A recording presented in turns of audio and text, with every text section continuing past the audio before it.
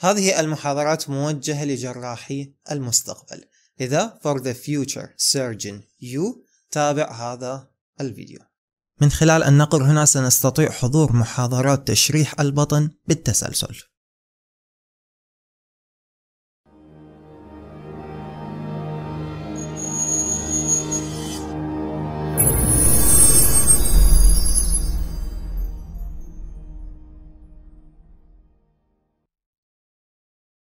ومثل ما نلاحظ من خلال النقر على الكتابة بجانب وقت الفيديو نستطيع التصفح بمواضيع الفيديو وبالتالي حضور فقط الموضوع الذي يهمنا من الفيديو. مرحبا جميعا. في هذا الفيديو إن شاء الله سنتعرف على عضلة واحدة من عضلات ال anterolateral abdominal wall وهي عبارة عن ال transversus abdominis muscle. سنقوم اولا باستذكار ال ILOs لمحاضرة ال anterolateral abdominal wall لذا نتابع. هذه المحاضرة ستكون عن الأناتومي of the abdomen وهذه المحاضرة ستكون from the beginning وستكون تحديدا لطلاب الطب لأن فيها تفاصيل كثيرة لن يحتاج لها غير طلاب الطب. فالغاية الأساسية من محاضرة الأبدمن أن تقوم بتأهيل طلاب الطب ليصبحوا جراحين. وهذه عبارة عن lecture 2 عبارة عن المحاضرة الثانية من محاضرات ال anatomy of the abdomen وهذه المحاضرة ستكون مخصصة لشرح كل تفاصيل ال anterolateral abdominal wall. لذا سنتعرف في هذه المحاضرة على ال whole story of the anterolateral abdominal wall تشريحيا.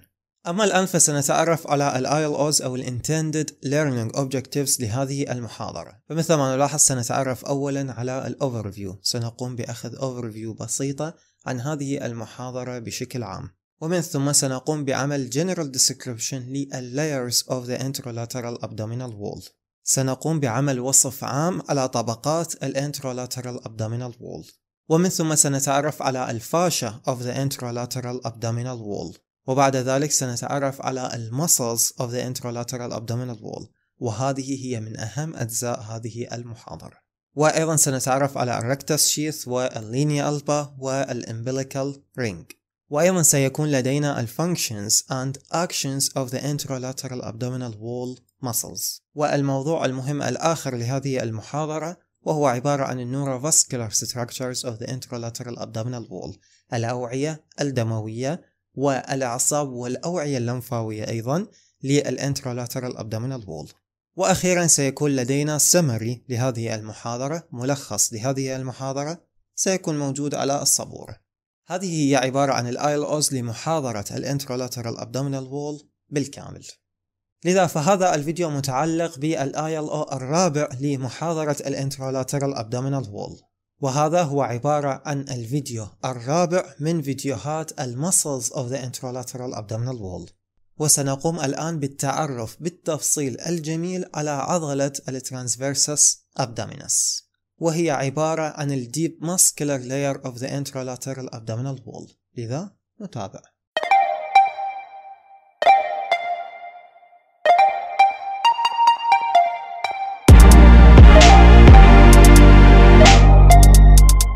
أما الآن فسننتقل بالحديث إلى ال deep muscular layer وهي عبارة عن ال transversus abdominis muscle مثل ما نلاحظ هذه هي عبارة عن ال transversus abdominis muscle. وهنا مثل ما نلاحظ هذه عبارة عن ال external oblique muscle. هذه ال digitations تابعة لل external oblique muscle. ومثل ما نلاحظ أيضا هذه القطع وهذه أيضا تابعة لل internal oblique muscle. فبعد أن أزلنا ال external oblique muscle وال internal oblique muscle. ظهرت لدينا ال transversus abdominis muscle وأيضا سنتطرق لل origin وال insertion لل transversus abdominis كما هو الحال في العضلتين السابقتين. فال origin لل transversus abdominis سيكون من ال internal surfaces of the 7th to 12th costal cartilage. لو نستذكر فإن ال external oblique muscle كانت من ال external surface وال internal oblique muscle كانت من ال inferior surface وال transversus abdominis من ال internal surface لل ribs وأيضا سيكون ال origin من ال thoracolumbar fascia وأيضا من ال iliac crest وأيضا من ال connective tissue deep to the lateral third of the inguinal ligament. أما ال insertion فأيضا سيكون لل linea alba with aponeurosis of internal oblique muscle. وأيضا سيكون لل pubic crest وأخيرا أيضا سيكون لل pecten pubis via conjoint tendon كما هو الحال في ال internal oblique muscle. لذا فكما هو واضح فإن ال transversus abdominis ترتبط بال iliac crest مثل ما نلاحظ وترتبط بال thoracolumbar fascia كما نلاحظ وأيضا ترتبط بال internal surface of the costal cartilage لذا فكما هو واضح أحد الأضلاع يظهر هنا هذا الضلع الحادي عشر أو الضلع الثاني عشر لست متأكد. ولكن ظهور هذا الضلع هنا مثل ما نلاحظ يعني أن ال transversus abdominis ستكون deep لهذا ال rib لهذا الضلع. وأيضا مثل ما نلاحظ هذه الصورة توضح تفصيلة مهمة هي أن ال transversus abdominis ستكون واضحة من ال internal aspects لل anterolateral abdominal wall. الآن أنا أنظر إلى ال abdomen أو ال anterolateral abdominal wall من ال internal surface. أي عمليا أنا الآن داخل ال abdominal cavity وهنا عند هذه النقاط مثل ما نلاحظ فإن ال transversus abdominis ترتبط بال internal surfaces of the costal cartilage of 7th to 12th ribs. ومثل ما نلاحظ هذه هي عبارة عن ال thoracolumbar fascia وهنا هذه هي عبارة عن نقطة ال origin لل transversus abdominis muscle مثل ما نلاحظ وكمراجعة لنقوم بالتدقيق على هذه الصورة.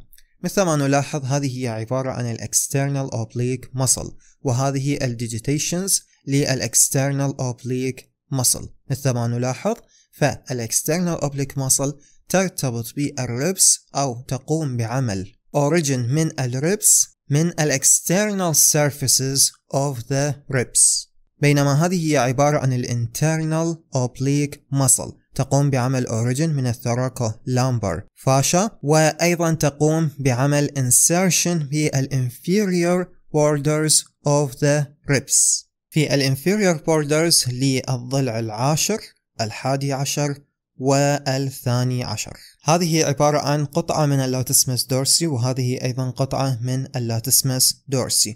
وهذه هنا هي عبارة عن نقطة ال origin of the transversus abdominis muscle. ومن ثم أيضا سترتبط ال transversus abdominis بال internal surfaces of the costal cartilage ولهذا السبب فهي غير ظاهرة هنا لأننا نحتاج إلى إزالة ال internal oblique muscle وإزالة بعض التفاصيل لكي نستطيع أن نرى ال transversus abdominis muscle لذا مثل ما نلاحظ هذه عبارة عن ال transversus abdominis muscle مثل ما نلاحظ وهنا يتضح ارتباط ال transversus abdominis بال costal cartilage ولكن من ال internal surfaces. فهي ترتبط بال 7th 8th 9th 10th costal cartilage ولكن من ال internal surfaces لها. ولهذا السبب فأنني أستطيع الآن أن أرى هذه ال costal cartilage من ال external surface. لأن ال transversus abdominis ستكون deep لهذه ال costal cartilage وهنا يتضح لدي ال external oblique muscle أيضا تقوم بعمل origin من ال external surfaces of the ribs. وهنا أيضا تتضح لدي ال internal oblique muscle تقوم بعمل origin من ال inferior surfaces of the ribs. وأيضا كما قلت فإن ال transversus abdominis ستقوم بعمل origin من ال thoracolumbar fascia وقد رأينا هذا الشيء قبل قليل. وأيضا من ال iliac crest وأيضا من lateral one third of the connective tissue deep to the inguinal ligament. هذا هو عبارة عن ال inguinal ligament. لذا فهذا هو عبارة عن lateral one third of the inguinal ligament. ومثل ما نلاحظ هنا قد قمنا بقص هذه ال transversus abdominis وقد ظهرت لدينا هنا مثل ما نلاحظ ال transversalis fascia وقاموا هنا أيضا بإزالة ال transversalis fascia وهنا من المفترض أن يكون لدي ال extraperitoneal fat و deep لل extraperitoneal fat سيكون لدي ال parietal peritoneum يجب أن لا ننسى هذه المعلومات وأن نقوم بمراجعتها أينما رأينا صورة عن ال anterolateral abdominal wall. لذا فال transversus abdominis أيضا ستقوم بعمل insertion لل linea alba مثل ما نلاحظ هذا هو عبارة عن ال linea alba وأيضا ستقوم بعمل insertion لل pubic crest وأيضا لل pecten pubis via conjoint tendon. مثل ما نلاحظ هذا هو عبارة عن ال conjoint tendon. وكما قلت فإننا سنتعرف على هذه المنطقة بشكل تفصيلي أكثر إن شاء الله في محاضرات ال inguinal region لذا للمراجعة الأخيرة فإن ال origin لل transversus abdominis سيكون عن طريق ال internal surfaces of 7th to 12th costal cartilage. مثل ما نلاحظ هنا يتضح لدي ال 7th ال 8th 9th and 10th costal cartilage. ولكن مثل ما تلاحظون فقد قمت بتضليلها بعض الشيء بطريقة transparent إشارة إلى أن الارتباط سيكون من ال internal surfaces. بينما مثل ما تلاحظون هنا أيضا سترتبط ال transversus abdominis ستقوم بعمل origin من هذه القطع من ال costal cartilage من ال 11th وال 12th ribs. ولأننا نرى هذه ال ribs من ال internal surfaces فنلاحظ أن اللون أصبح غامق. وأيضا ستقوم بعمل origin من ال iliac crest ولكن لو تلاحظون هنا لم يقل من ال anterior 1 half أو ال anterior 2 thirds وإنما قال من ال iliac crest بشكل كامل. لذا فإن منطقيا فإن ال transversus abdominis هي the most posterior muscle of the all muscular layers of the anterolateral abdominal wall. أما ال insertion فسيكون لل linea alba ولل pubic crest وأيضا لل pecten pubis via conjoint tendon وهذا هو عبارة عن ال pecten pubis وكما قلت فإننا سنتعرف على هذه المصطلحات إن شاء الله في محاضرات ال inguinal region. وال innervation لل transversus abdominis muscle سيكون كما هو الحال في ال internal oblique muscle عن طريق ال thoraco abdominal nerves من ال T6 إلى ال T12 spinal nerves. بالإضافة إلى ال first lumbar nerves. إذا مثل ما نلاحظ فهذه هي ال nerves التي ستقوم بعمل innervation لل transversus abdominis muscle وسنأخذ تفاصيل ال innervation وال blood supply لل anterolateral abdominal wall بشكل عام في فيديو منفصل ينتمي إلى هذه المحاضرة محاضرة ال anterolateral abdominal wall. وأيضا مثل ما نلاحظ هذا هو عبارة عن أحد ال thoraco lumbar nerve. وأيضا مثل ما نلاحظ فإن ال anterior ramus هو من سيقوم بمهمة ال innervation لل 3 muscular layers of the anterolateral abdominal wall. أما فيما يخص ال action لل transversus abdominis فإن ال transversus abdominis أيضا ستقوم بعمل compression وستقوم بعمل support لل abdominal viscera بنفس الطريقة التي ستقوم بها ال internal وال external oblique muscles. فال transversus abdominis أيضا ستقوم بعمل origin من نقاط معينة وبهذه الحالة لنتصور فقط origin واحد وهو عبارة عن ال thoraco lumbar fascia. فال transversus abdominis ستقوم بعمل origin من ال thoraco lumbar fascia وتقوم بعمل insertion في منتصف البطن في ال linea alba في ال midline لذا فإن ال transversus abdominis muscles كلاهما حينما يقومان بالعمل مع بعضهما البعض من ال right ومن ال left فإن كلاهما سيستطيع أن يقوم بزيادة ال intra abdominal pressure بطريقة جيدة. فهي عبارة عن ال main muscle التي تقوم بعمل ال compression وال support لل abdominal viscera أي أنها العضلة الأساسية التي ستقوم بزيادة ال intra abdominal pressure فمثل ما نلاحظ هذه عبارة عن transversus abdominis على اليمين وهذه transversus abdominis على اليسار.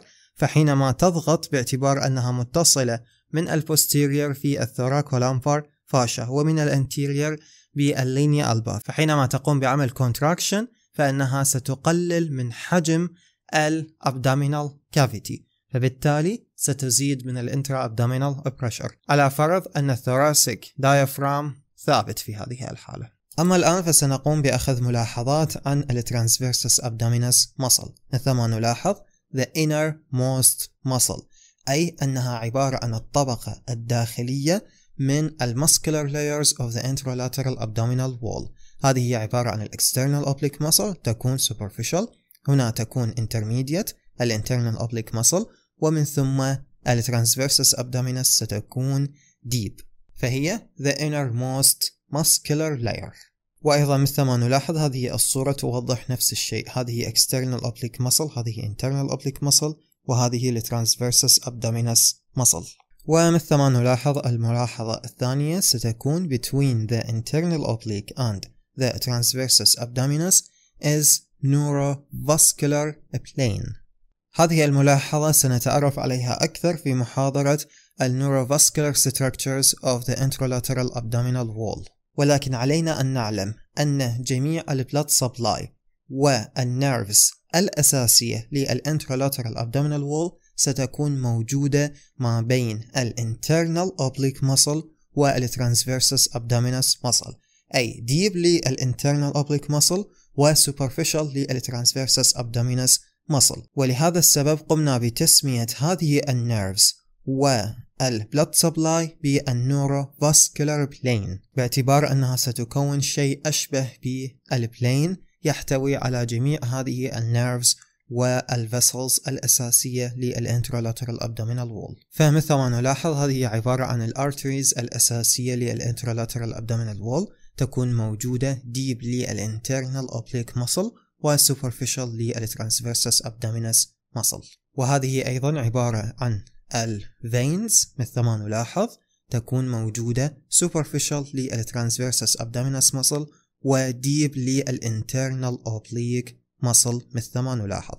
هذه هي عبارة عن ال internal oblique muscle. وأخيرا مثل ما نلاحظ هذه هي عبارة عن ال nerves مثل ما نلاحظ هذه هي عبارة عن ال transversus abdominis muscle وهذه هي عبارة عن ال internal oblique muscle ونلاحظ أن ال thoraco abdominal nerves ستكون deep للinternal oblique muscle وsuperficial للtransversus abdominis muscle لذا كمراجعة سريعة واستذكار سريع فنحن قد قمنا بتغطية الفلات muscles of the intralateral abdominal wall بالكامل وهذه هي عبارة عن ال 3 flat muscles. هذه هي عبارة عن ال transversus abdominis internal oblique external oblique muscles. هذه الصورة توضح جزء من ال posterior abdominal wall الذي سنتعرف عليه إن شاء الله في محاضرات مستقبلية بعيدة إلى حد ما. فهنا مثل ما نلاحظ تقريبا نهاية ال anterolateral abdominal wall وبداية ال posterior abdominal wall.